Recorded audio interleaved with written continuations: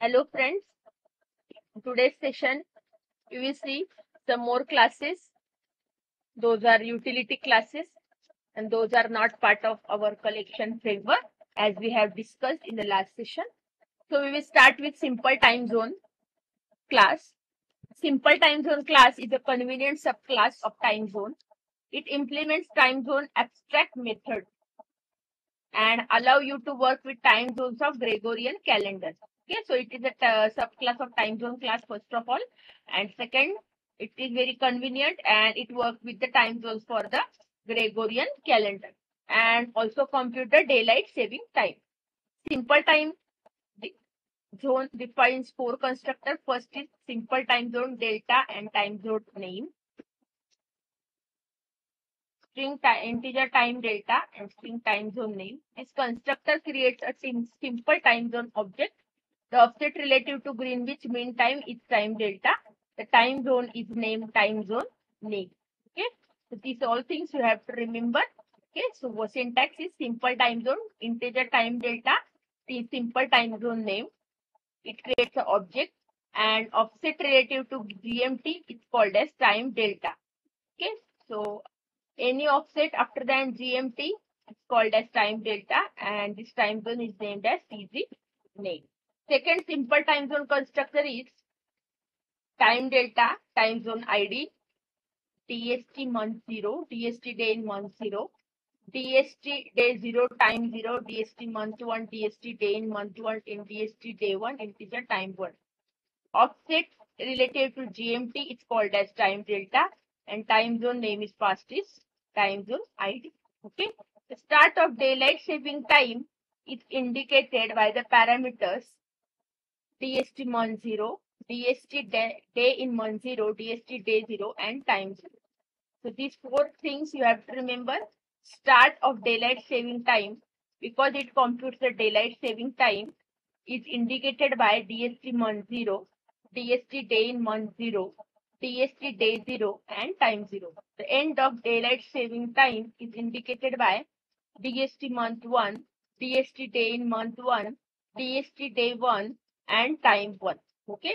So start is indicated by 0, end is indicated by 1. Okay.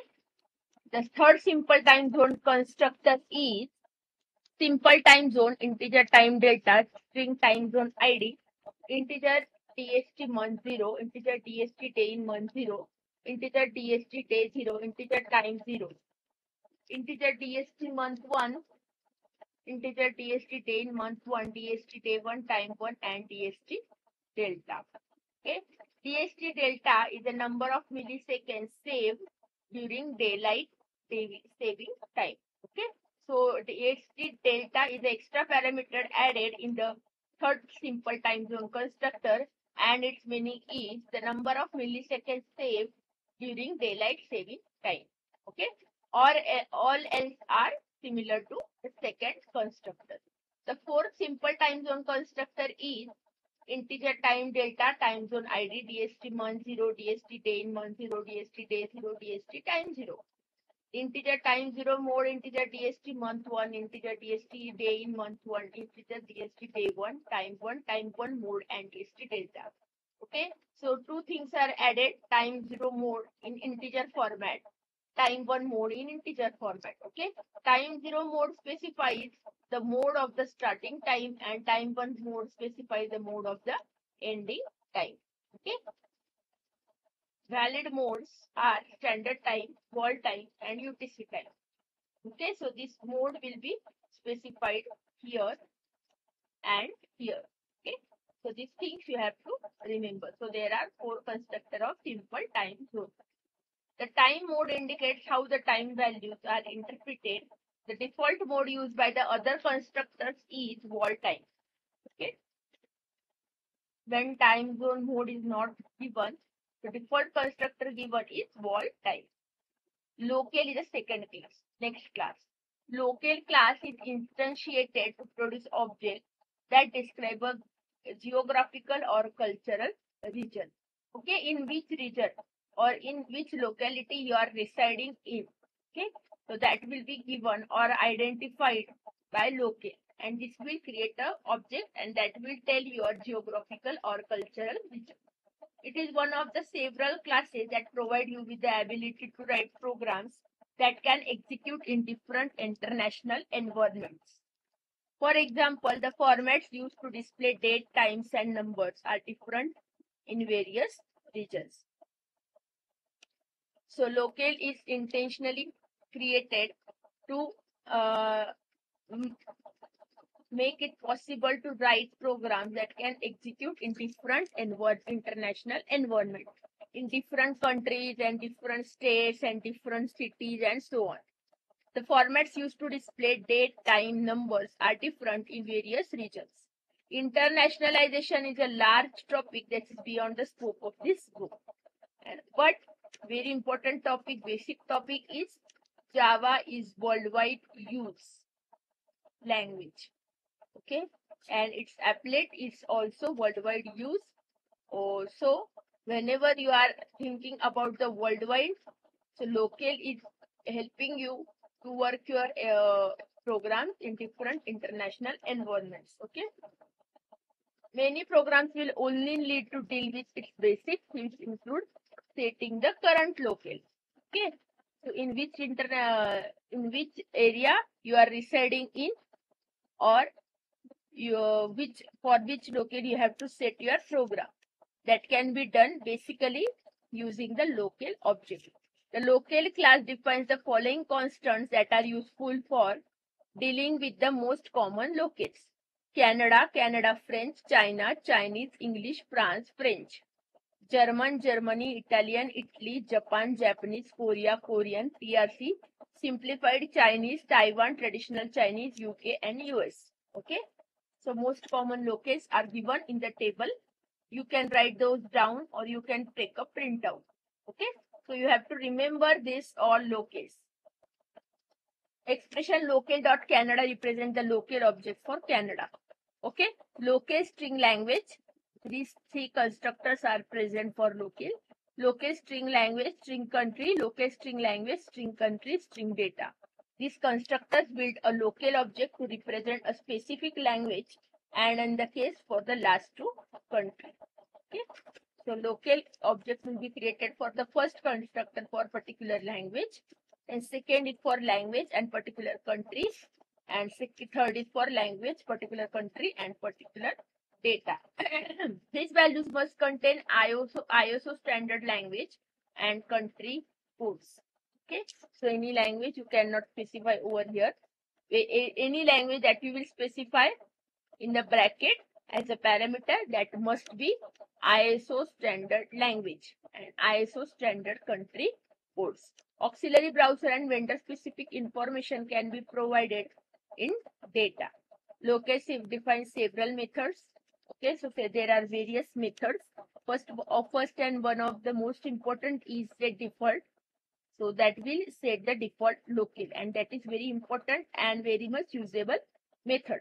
Static void set default local local object. This is the default locale to that specified by local object. Some other interesting methods are final string get display country, final string get display language, final string get display name. These return human readable string that can be used to display the name of the country, name of the language and complete description of the local. Okay. Default local can be obtained using get default. Like a set default, there is get default also available. It is shown here static local get default. So it will give you your default local set for your particular PC. Okay. Calendar and Gregorian calendar are examples of classes that operate in a local sensitive manner. And date format, simple date format also dependent on local. Next is random. The random class, the random class is a generator of pseudorandom numbers. These are called pseudorandom numbers because they are simply uniformly distributed sequences. Okay. Pseudorandom means randomly generated. And this uh, random class is very much useful when you are creating uh, games using Java programming language.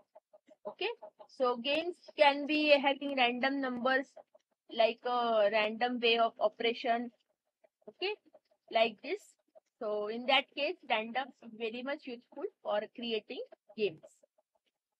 Random defines following constructors random, random long seed. The first version creates a number of number generator that uses the current time as the starting or seed value. Okay.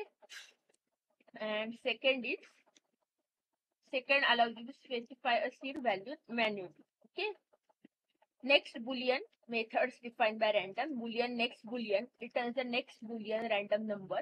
Void next byte byte values first fills values with randomly generated values.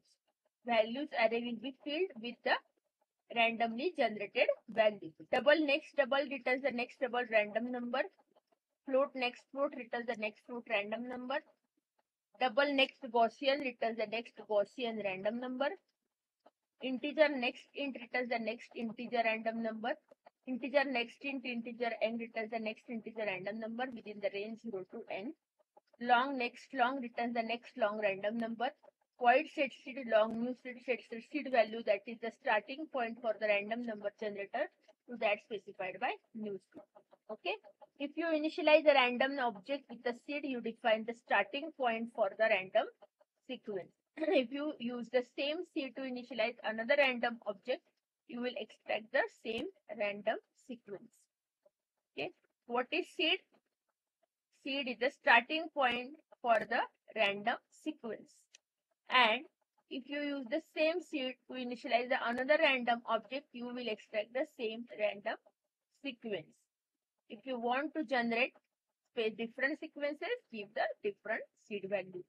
The easiest way is use the current time to seed a random object so that every time new random sequence will be generated. This approach reduces the possibility of getting repeated sequences because you are getting the current time and current time is getting updated each and every second. Public methods defined by random we will see in the table. There are seven types of types of random numbers that we can extract from a random object. Random boolean values are available for from next boolean. Random bytes can be obtained by calling next bytes. Okay. Random boolean values are available from next boolean and random bytes you can get by next byte. Integers by using next int. Long integers uniformly distributed over their range can be obtained with long next next long. The next float and next double methods return a uniformly distributed float and double respectively between 0 and 1, 0.0 and 1.0. Finally, next Gaussian returns a double value centered at 0.0 with a standard deviation of 1.0. Okay, this is what is known as bell curve. So, what is next Gaussian? It will return a double value centered at 0.0 with a standard deviation of 1.0. Here is an example that demonstrates the sequence produced by next Gaussian. It obtains 100 random Gaussian values and averages these values and also count number of values that will fall within two standard deviations plus or minus using increments of 0.5 or each category for each category. Okay, so what we will see now, we will see an example that demonstrates the sequence produced by next Gaussian. It will obtain 100 random Gaussian values and it will make uh, average, create average from these values. And it also count the number of values that fall within the two standard deviations plus or minus 0.5 for each category. Okay, and the result is displayed sideways on the screen. Random r is equal to new random value and sum is created. And integer val array is created of size 10 value is equal to r dot next Gaussian 100 random uh, numbers are created sum is equal to sum plus value double t is equal to minus 2 okay? So what is t over here? It is in, in, initialized with minus 2 every time. And sum will be updated with the new random value every time. Okay, for 0 to 10 incremented by 1 and t is incremented by plus 0.5 every time. If value whatever value is generated is less than this t. What is t over here? Minus 2 minus 2 plus 0.5 is minus 2.5 if this value that is generated over here next Gaussian value if it is lesser than minus 2.5 for the first time bell of x bell of this x that is 0 it will be incremented by 1 and break. Average of values are created like whatever sum is divided by 100 and bell curve sideways for integer 0 to 10 for integer x is equal to bell of i x of a greater than 0 x minus minus. So it is decrementing by 1 this uh, outer for loop is incrementing by 1 and star is printed and new line is printed okay? So sample program run is displayed over here. The like distribution. Is like uh, average of values is displayed and bell is created okay? So this is the bell generated using star operation okay? So what we have done over here first of all we created a random object. Random r is equal to new random value and sum is generated. Bell array of size 10 is created. Then for 0 to 100 times next Gaussian number is created and its sum is also done every time. T is initialized with minus 2 every time that e, t will be initialized uh, added with 0.05 if this value is lesser than t bell of x will be incremented by 1 okay? So bell of 0 will be 1 bell of 1 will be uh, bell of 1 will be 2 and so on. Every time it will be incremented by 1 and the loop is break. But when when the value is greater than t okay? And display the bell curve sideways. Only one side bell curve using star is displayed over here. Using two loops outer loop is incremented by 1 0 to 10 inner loop is uh, decremented by 1 from bell of i x is greater than 0 x minus minus star and new line is printed. And sample program run is displayed over here. Okay? So this way bell like output is generated. Next is observable. Observable class is used to create subclasses that other parts of your program can observe. Okay? So observe whoever class that extends observable.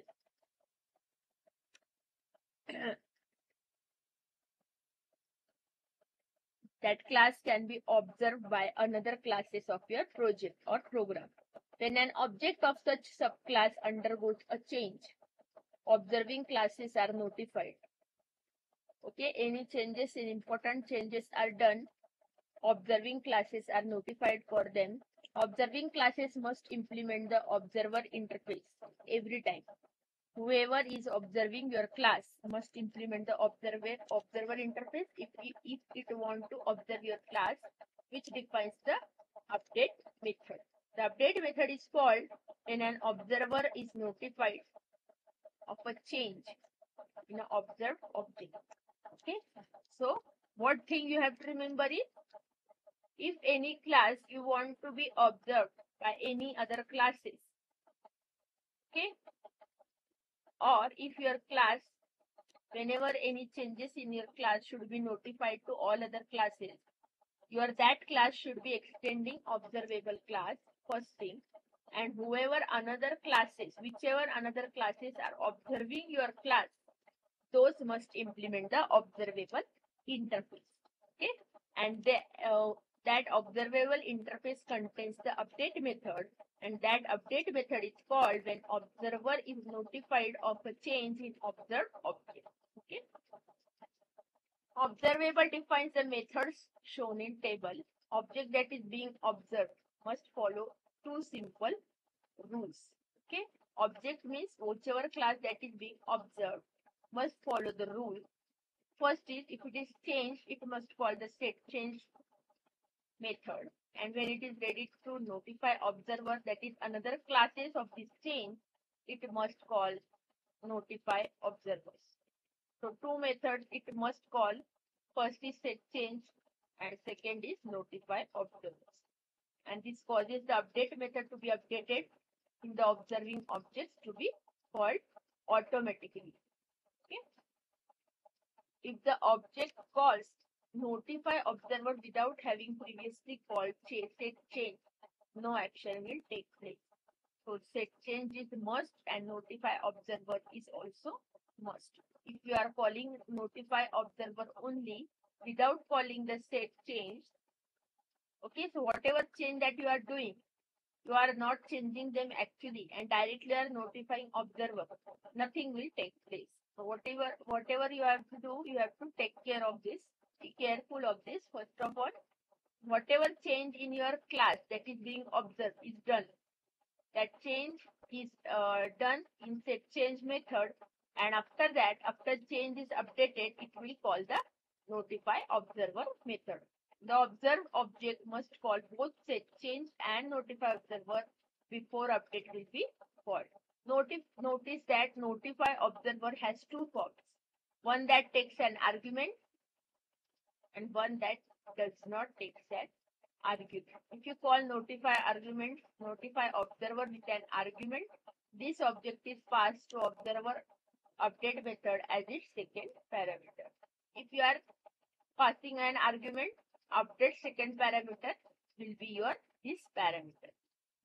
Otherwise, null is passed to update. You can use the second parameter for passing any type of object that is appropriate for your application. Okay, you can use the second parameter. For passing any type of object that is appropriate for your application that is your choice. Any type of object you can pass okay? So now we will see the methods defined by observable. Void add observer observer object adds object to the list of object observing the invoking object okay add observer one more observer is added to this class adds the object to the list of objects observing the invoking object. Protected void clear change. Calling this method returns the status of the invoking object to unchanged. Integer count observers returns the number of objects observing the invoking object. Void delete observer observer object. This one object is deleted if it is observing your object. Removes object from the list of objects observing the invoking object. Void delete observers delete all the observers from the invoking object. Boolean has changed.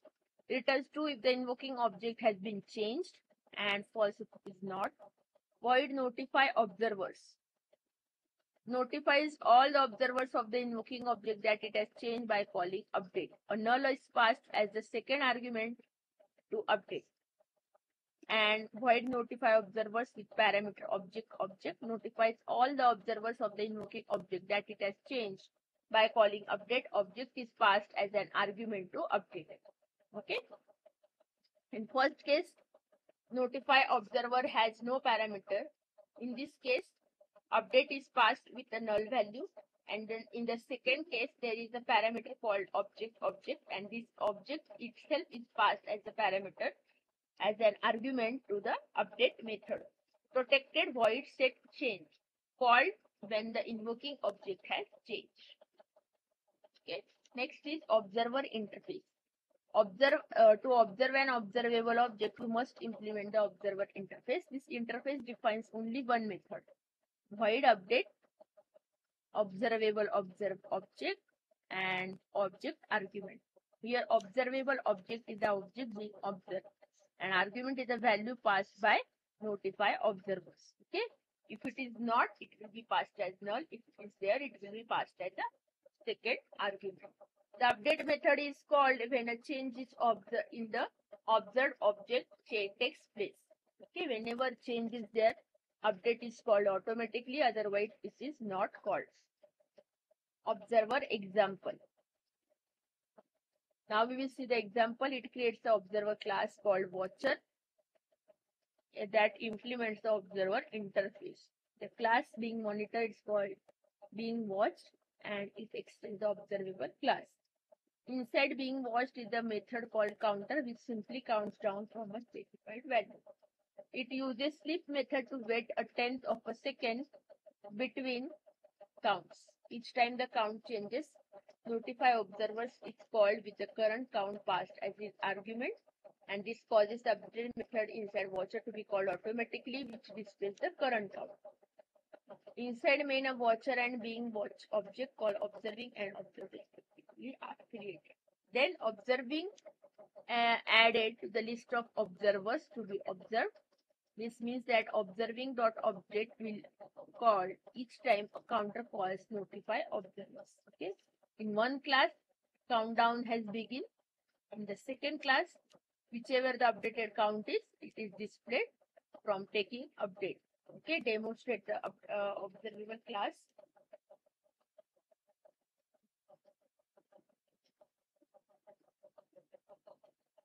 Okay.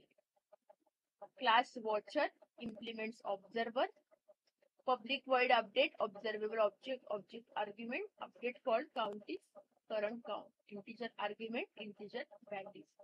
This is the class being observed being watched extends observable void counter integer period for first is not given. Whatever uh, when you are calling from the public static void main whatever value you are be passing from that countdown will begin is greater than is equal to 0 if the counter you are passing it is 10 it will iterate from 10 to 0 if the counter you are passing you are 15 it will be uh, displayed from 15 to 0 and so on. Then called set change method and in between tenth of a second we slip that is one 100 milliseconds notify observer is called new integer with the period. Okay period is the current count. And in between it is skipping for 100 milliseconds. Being watched. Observe new being watched. Of watcher observing new watcher. Observe dot add observer observing. Add the observing to the list of observers. So to connect the observing and observe. What we have done you have we have added this line observe dot add observer observing and counter start from 10 the output is update call count is 10 update call count is 9 update call count is 8 likewise 7 6 5 4 3 2 1 and 0 okay? So this way we have understood the observer class also in the next session we will see more classes related to our utility classes those are very interested interesting so you should practice whatever we are uh, learning in the sessions you should practice at home and learn and enjoy the utility classes as well. So meet you in the next session with the new topics. Till then, you can practice. Okay. So thank you so much.